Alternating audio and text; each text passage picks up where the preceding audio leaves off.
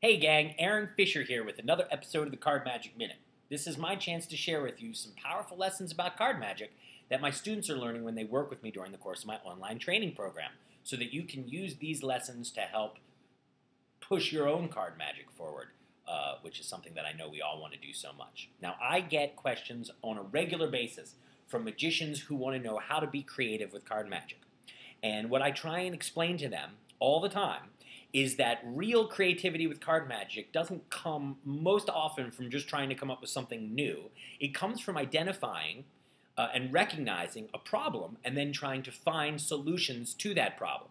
So today I thought we'd try a new exercise on the Card Magic Minute, which is to show you an item that one of my mentors, Mr. Larry Jennings, showed me the first time I visited him at his home in Los Angeles in 1996 when I was not even 21 years old.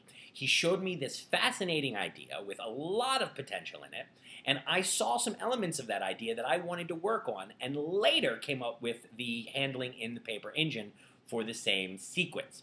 So what I'm going to do today is show you Larry's sequence. We're not going to talk about it. We're not going to discuss it. But you have a chance to think about what Larry did, why he did it, what problems he was solving, and what problems, if any, he left unsolved in his handling.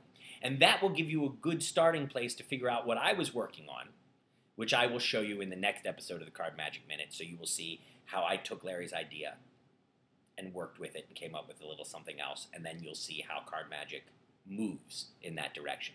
So that said, I'm going to show you a little effect. This is sort of a ad hoc simple effect just designed so that this has got an application to show you. In reality, I want to show you Larry's sequence.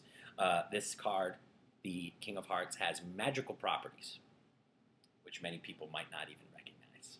So I have here these four cards that actually didn't come from this deck, they came from my pocket, and you'll notice that because these cards are strange. One of them is the Ace of Hearts. The next one, uh, sorry, Ace of Spades.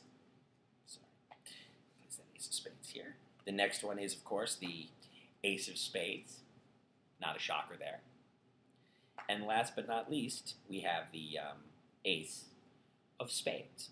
Now, if I take my King of Hearts, who made some tarts, and just drop it on top of those four aces of spades, something very strange happens. You'll see that they actually become four indifferent.